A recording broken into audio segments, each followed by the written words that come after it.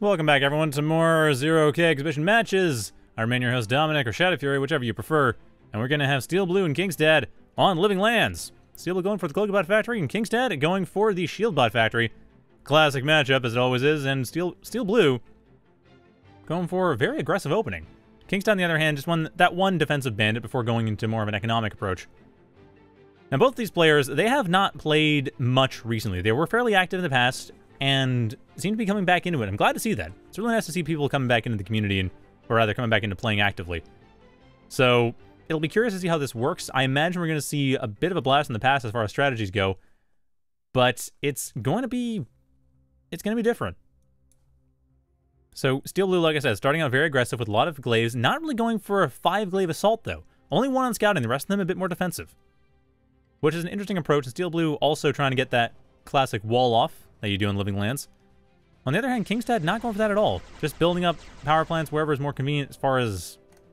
Actually, I'm not even sure where that's convenient for. Possibly for Overdrive? I guess you, you could make a wall along here. But I don't see Kingstad doing that.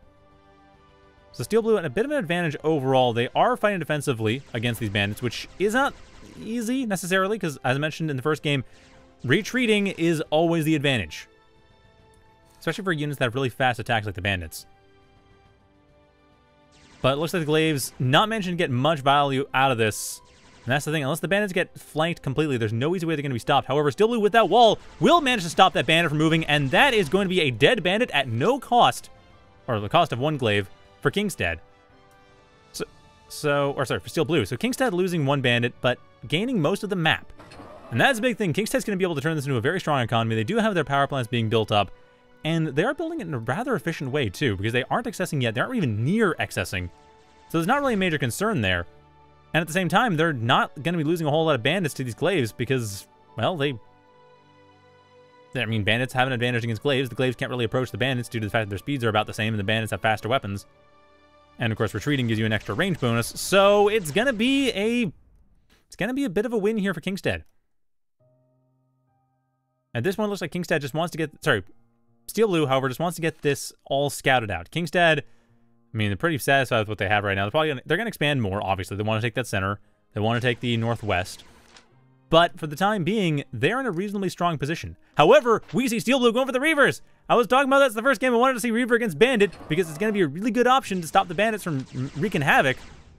And there's the Reaver coming in here. So that is not a bad idea. And there it goes, ripping apart three bandits like it's nothing.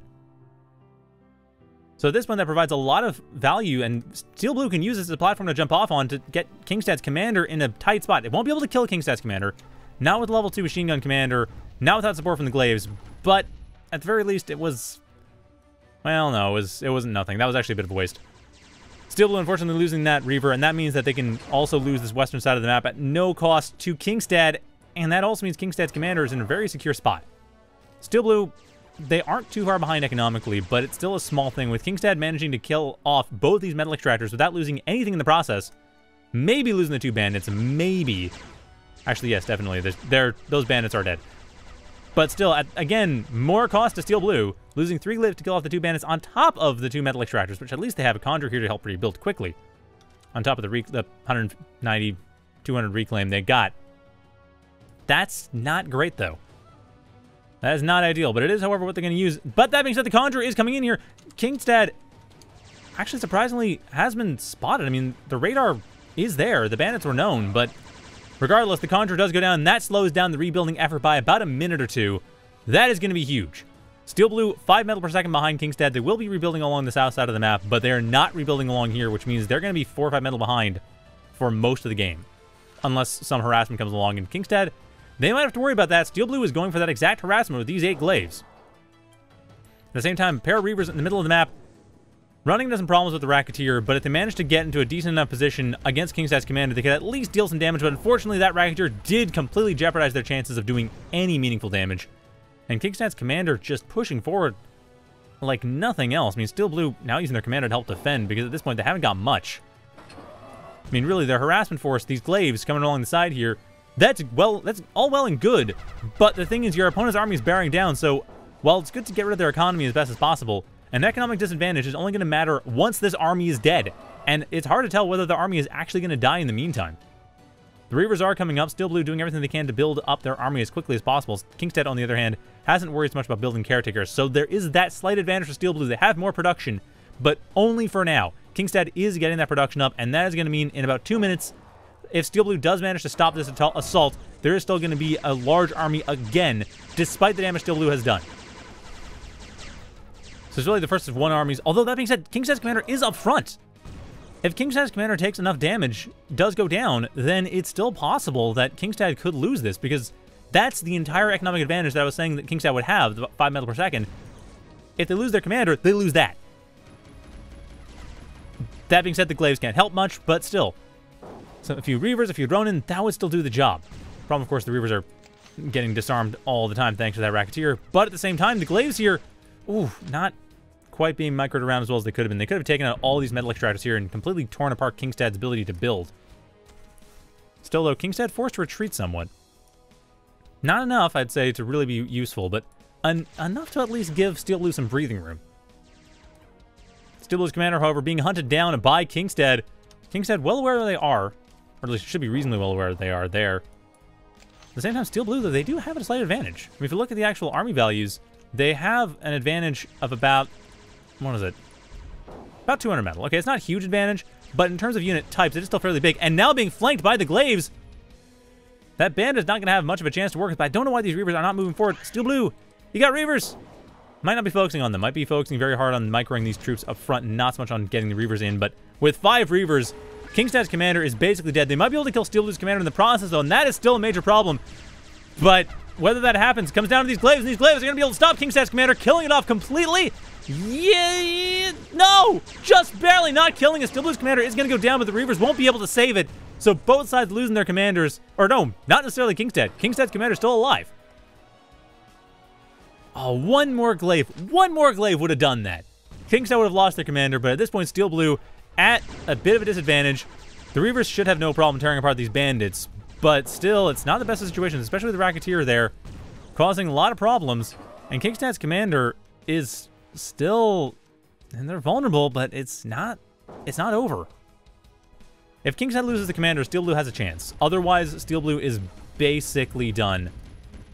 But it looks like the Reavers do manage to get in, do manage to kill the commander, and actually one of them does survive. So not bad. However, with both commanders gone, whoever builds storage first is going to have a bit of an advantage, but Kingstad overall economically has the advantage. They did build up more. They had more construction going on in the backyard. And while some raiding is happening here in the front lines and nothing can really defend it, Kingstad still has the advantage. Like, army value, Kingstad's ahead by 300 metal. Metal used, Kingstad's ahead by about 1,000. And the attrition, Kingstad's ahead by 500. So I do think Steel Blue has a bit of an advantage when it comes to army composition for the time being. It's still going to be a question of how much Steel Blue can raid. Like, really use the Cloakybot factory as the Cloakybot factory, as the raiding sneaky factory. And it looks like not necessarily much. The front line is definitely not an option. And these glaives didn't go around the back yet. They are trying now, but the thing is the forces of Kingstad are not distracted anymore. They were once, they are no longer, and this metal extractor will likely not go down. The convict will. Metal extractor actually also does, and that convict death is fairly big. A second convict is there as backup. So it's not the biggest thing in the world, but it is still something. And Steel Blue is still pushing hard as best they can to take out Kingstad's forces, but the thing is Steel Blue doesn't have much in the way of power either. Losing their commander was huge for lack of power structure, and that means that they have to rebuild all these solar plants while building up their army, and that is slowing them down. Kingstad is basically doubling their economy just because of the amount of production they can put forward thanks to that power plant. Most of it is going to another power plant, so Kingstad investing in the future, that's giving Steel Blue a bit of an bit of a chance, not an advantage, just a chance. The timing window they can work with. But at the time, at, for the time being, it's not really an option. Granted, Steel Blue now focusing very heavily on getting their power infrastructure back up, which is wise. Now they do have everything full up for power. They can build with all their metal. But even then, it's still a bit tricky. I mean, they want to get more power, obviously. They're low on power. It's still not necessarily enough to spend all the metal if they want to. Because yes, they do have 17 metal income and 19 power, and they can push 20 build power in. So that's fine. But it's not necessarily enough. And especially when they have no army left, when this Reaver is being completely racketeered then it's over. So I can see why there is a bit of a downside using Reavers against Shield Bots. The Racketeers are a problem. But that's the thing, like that I was talking about before, is to get the Racketeers, like get the Glaives as support. Granted, with the Outlaw there, it's hard to even say how well that'll work, but this is where I'd say Ronin come in or Phantoms come in. Either of those units would be able to take out the, the Outlaws, take out the Thugs, take out the Racketeers. Actually, I think Phantom would be a really good idea in this situation. But Steel Blue not going for it, going for the Reaver instead. I mean, Reaver Glaive is not a bad combination. The problem is just the Outlaw. If the Outlaw can be torn to pieces, then there's a chance. If the Outlaw is still in play, though, the Glaives can't get around to the Racketeer and tear it apart to allow the Reavers to deal their damage. And that's where I see there being a bit of a problem. Of course, at this point, Kingstad just wrecking all of Steel Blue's economy, and Steel Blue has very little on hand to deal with that. So, nice tries coming in from Steel Blue to defend, but it looks like Steel Blue instead going for a counterattack. Not even going to bother saving the Southeast.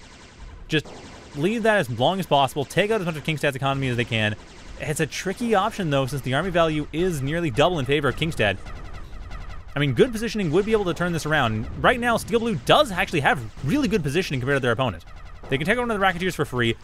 A few of the bandits are trying to advance into Glaives, and like I said, retreating is always the advantageous position, and these thugs have nothing stopping them, so all the support forces are going down. The reinforcements are not coming. And Steel Blue, with the Reclaim, at least should be able to maintain their economy for the time being as they are rebuilding some of the stuff over the northwest side of the map. But the problem is that, again, there's still a Racketeer against the Reaver, and there's still that Stardust there blocking most of the really juicy metal extractors. On top of the Outlaw. I mean, Glaive's going for a suicide mission to take out the Outlaw. It's successful, but again, it's a suicide mission. And at this point, Steel Blue needs efficient trades in order to be able to get back in this game. And again, going for more Glaive Reaver play, trying their best to wipe out this main army, but between the Outlaws and the Racketeers, I just don't see it happening. I mean, thankfully for Steel Blue, the Outlaw did manage to get that Glaive, but still, once it hits one of the Reavers, there's not a whole lot of room. With the Ronin up, there's an option, though. That's good. I like that. Steel Blue's got the Ronin. Steel Blue has the options to push forward and actually take out this army. But Kingstad, again, they have the economic advantage. They have the production advantage. They have a lot to work with that Steel Blue just plain doesn't. And it's really all dependent on how long it takes Steel Blue to reclaim everything. They've got their commander reclaim. I think both husks are here. There's still a lot of reclaim left, but the problem, of course, is that obviously Kingstad's not going to want to let that happen. Like, Steel Blue is only in this game because of these Conjurers doing the reclaim. That's the biggest thing here. And if that goes, Steel Blue's out of the fight. So Kingstad obviously does not want to let that happen if possible. It's just a question of what can they do because Steel Blue is still blocking reasonably well, but Kingstad's army is growing. At this point is already just about triple the size of Steel Blue's by value, or by cost. I mean, the Ronin doing a fine job pushing everything back, but again, they're not managing to easily get through the shields. They're doing some damage, getting rid of a handful of outlaws here and there. And now with the retreat, or now with the advance coming in, that does leave room for the Reavers to come in and actually start tearing apart the bandits, but the bandits are being smart enough to get away from there. So overall, Kingstad just has very little at stake compared to Steel Blue. Kingstad just needs to hold on. Steel Blue needs to find some way of forcing a fight in their favor, which is becoming decreasingly likely as they can't really outrange much and when they try to, of course, the bandits come in here and just outspeed the Ronin. So I think with enough Ronin, it's possible, but I still would like to see some Phantoms just to really hammer it home. Regardless of the bandits getting out of positions very slightly, that as many of you die for free, and that's what I mean. Any slight position mistake coming out from Kingstad means Steel Blue can get a good trade. Still, though, Steel Blue's behind in terms of attrition, about half of the way in terms of actual army value. But it's just it's like slow attrition is still in favor of Kingstad.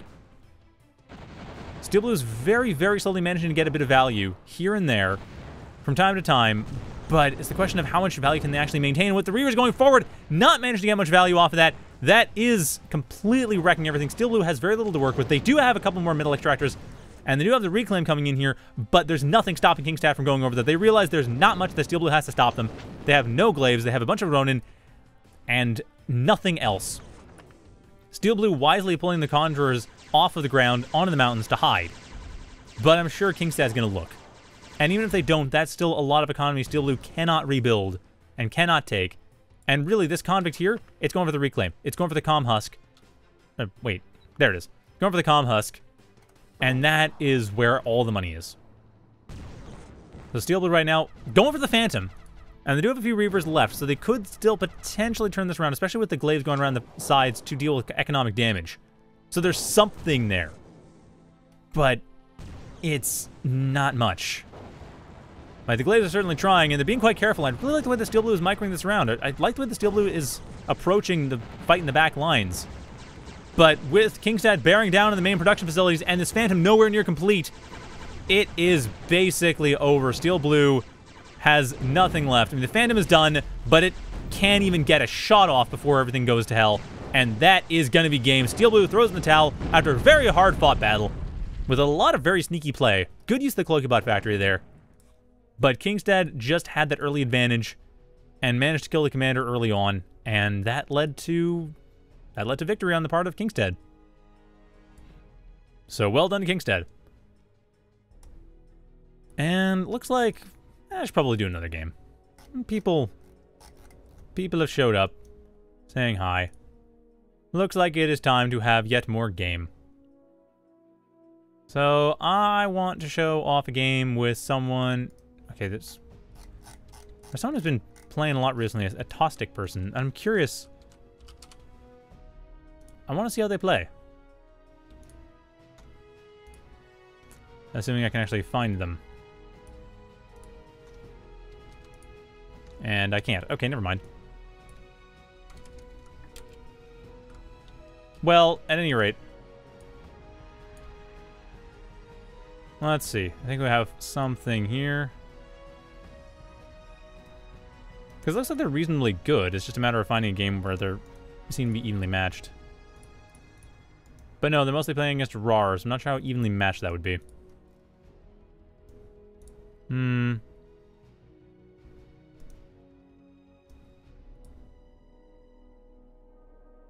Okay, well, let's do a RAR versus Zatostic match. I want to see who this Zatostic person is. Anyway, that'll be up in a sec. So, RAR and Atostic on... was it? Trojan Hills. Stay tuned, up in a couple seconds.